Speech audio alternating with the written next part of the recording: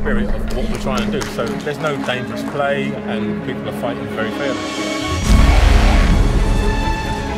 We are getting together referees from all disciplines.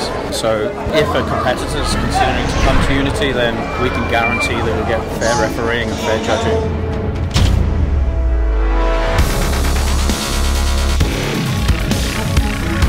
I've been refereeing right down from the little kids going up to the bigger kids, different levels like novices, intermediates, and it's, it's just brilliant to watch. It's been it's a real pleasure.